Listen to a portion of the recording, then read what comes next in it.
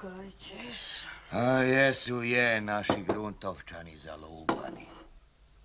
Ak se jen prime, bomo rekli na priliku s kravami trgovati. Sebi mam šteli trgovci biti.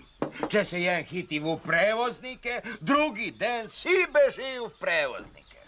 A kaj ćeš? Saki ti gledi nekak bole živeti.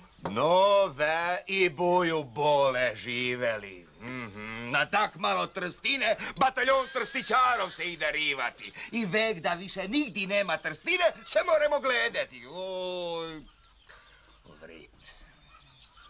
Ti se zbog radi tega ni treba toliko brigati, Francek. Ak smo mi dove živeli bez trstičarne. A, nem ja to samo tak pustim. A, a. Ne bu se meni v Gruntovcu nište smejal. To ne. To pak ne. Makar zadnju paru s hiže dal. Mm-mm. To ne. To pak ne.